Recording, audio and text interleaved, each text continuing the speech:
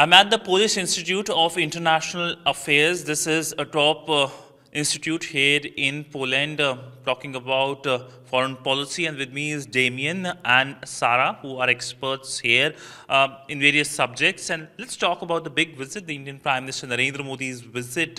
He travels to Poland later this week. Uh, starting with you uh, Damian sir my question to you is on the economic cooperation. What kind of economic cooperation do you see between Poland and India I think that economic relations between Poland and India are is they are untapped. There is so huge potential in uh, terms of trade and investment between our country, uh, which has not been yet developed, that this uh, visit by Prime Minister Modi uh, can be a spark or some kind of political signal to make those relations um, uh, closer. So there is, uh, India is not a, an very important partner for now for Poland in terms of trade when it comes to Asian uh, countries. There are much more, more, trade and investment relations between Poland and Japan or uh, South Korea, or in terms of trade between Poland and China. But I think that uh, the uh, quite rapid development uh, of the Polish economy and Indian economy makes us a good partners for the future in terms of trade and investments. Uh, so um, now the Polish entrepreneurs perceive India as a big market, huge market with great opportunities, but a difficult one. Uh, the one which needs uh, a lot of attention, a lot of time, a lot of capital mm to invest in to get some profits. And not many, many of them are prepared for this. Uh, there are not many uh, large companies in Poland or a huge one, the, you know, the champions which can be which can easily um, go abroad and uh, make some quite big share of foreign um, foreign um, uh, markets foreign markets and access to those markets and be an important player. There are some, but they are they are working on the, on the um, limited scale. And I think India for for them in many areas, in many sectors, when it comes to from agriculture, to, from by the machinery, um, building materials, uh, environmental uh, solutions. I think that India is a, could be a huge partner, but they have to get knowledge about the, uh, the market, about how to get, uh, how to do business in India about the business culture in India because it's so various, so um, um, difficult country for us, very, uh, um, you know, with uh, various et uh, ethnicities, culture, mm -hmm. languages that Polish companies have to be prepared for uh, getting uh, to, to Indian market, to trade with Indian partners, to invest capital, but also to get capital to, to, to attract cap capital to Poland. And I think the uh, relations on the political level, um, at the prime minister's uh, level, will can get can give a signal for the Polish companies that India can be a prospective partner, and maybe some barriers for the Polish companies when it comes to non-trade barriers, some regulations can be uh, overcome or can be presented for the Polish uh, Polish business community as an opportunity as, and not an obstacle to get knowledge how the, how we can um, be active in India. And I think it can be and can it can bring profits for both sides, for Indian and for Polish companies. Mm -hmm. uh, so a lot of things where India and Poland can cooperate when it comes to economic relationship. India, of course, is the fifth uh, um, largest economy. You're the 21st largest economy, and plan to become the 18th largest. But I'm coming to you um, on the West Asia situation. Now it impacts India, it impacts Poland as well. And um, focus during last year's G20 presidency from the Indian side was a connectivity project that connects India, West Asia, Middle East to Europe and Poland, of course. Uh, what's your sense about this project, which was announced last year in New Delhi? So I think uh, this project has a, has a lot of potential for Poland, and that uh, comes with, I think there is a lot of similarities with what Damian says in terms of Polish relationship with the Middle East or West Asia, as you said. Uh, but maybe to make a small parable, um, we are now in the process of untapping this potential of, uh, of the relationship. However, Poland for now is, let's say, on the receiving end of this relationship. So uh, definitely definitely, we appreciate that uh, Middle Eastern countries, and especially Saudi Arabia, replaced uh, in the, I, would say to the large extent, uh, the oil that we were uh, before 2022 importing from Russia. And last year, Saudi Arabia became the, our biggest uh, importer of oil to Poland. Um, and, um, and there is a lot of agreements that are being uh, signed uh, throughout last years in terms of energy cooperation, but also larger economic cooperation. So there is an interest from the Middle East to invest in Poland, but just as Damian said about India, there is still something missing uh, from our side to invest in, uh, in the Middle East countries. And uh, from the perspective of, Polish entrepreneurs, definitely the Gulf states uh, have the biggest potential here.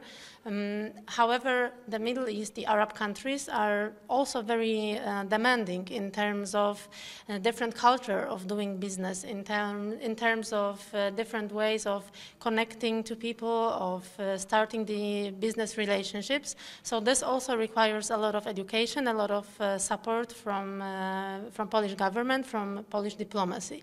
These things are all happening, uh, but uh, what I also see quite important as maybe, so to say, not only the economic part of the relationship, but something that could come with it, with developing the, the business partnership, is also the general sort of, um, let's say, feeling of getting know about different culture and about different perspectives because uh, since 2022 we also find it very important to um, to make the Polish and Ukrainian perspective about the war that happens in Ukraine and that Russia started closer for the citizens of the Middle East.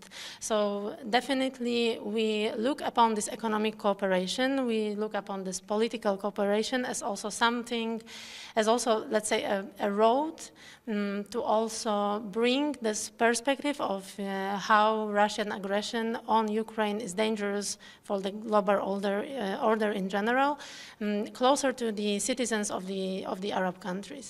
Mm -hmm. um, my final question to both of you, and briefly, um, uh, asking you, when it comes to Asia Pacific or Indo Pacific, as it's known in uh, New Delhi and other capitals in the region, uh, where does Poland want to have more of its political investments going Beijing or New Delhi? I know it's a tricky question because both are large countries, uh, both are influential countries, but um, India is a country which is a democratic country.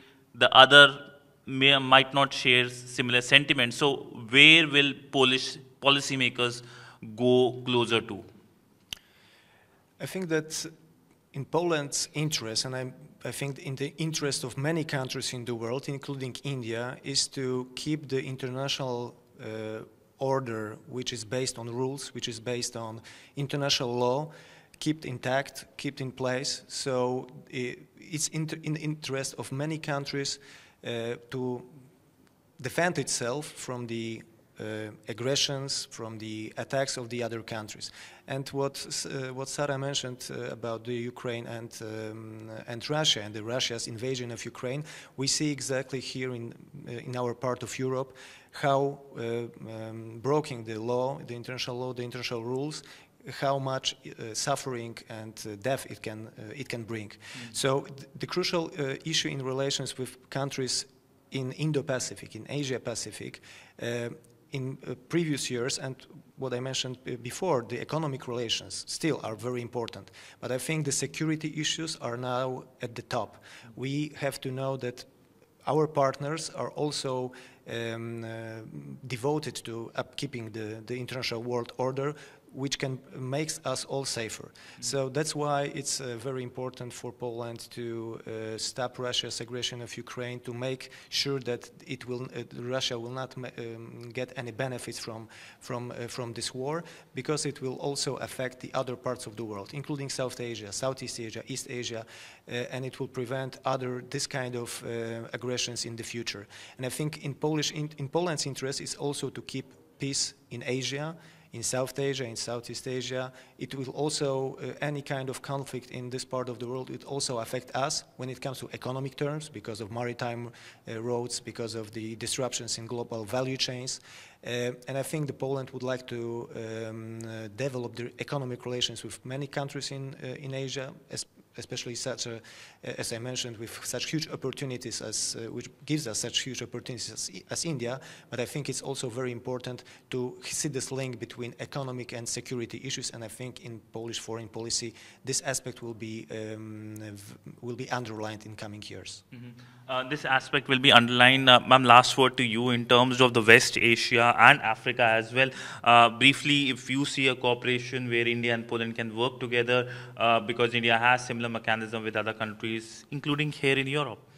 Yeah, so definitely I would say IMEC is uh, one of the platforms on which I believe uh, Poland uh, could build on because uh, this um, corridor brings all of us together, right? It would go from India through the Middle Eastern countries, and these are the countries that we actually have the closest cooperation with uh, in terms of like the whole region.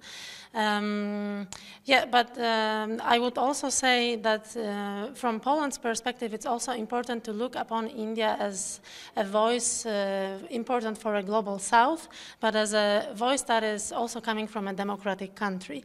And I think, uh, well, when you look up, uh, on the West Asia, the democracy is clearly missing from, from the picture over there. Uh, so I believe over here, Poland and India have a great potential to sort of build on this uh, um, common experience with building democracy, upholding democracy as, a, as an important part of, uh, of uh, sharing peace and, um, and respecting uh, the, uh, um, the global order, um, and um, as something that can be used in the you know, political cooperation in the region, not only the economic one, but uh, as a, let's say, the common point of, uh, of reference. Thank you so much, ma'am, for speaking to WION. Um, lovely speaking to um, experts here at this institute. So um, clearly, when it comes to the Indian Prime Minister's visit, focus will be on several things: economics, West Asia, Africa, uh, and of course, both countries have uh, growing interest in how they can work together in an increasingly unstable global order. With video journalist Neeraj Patel, Sidhant Sibal for WION in Warsaw, Poland.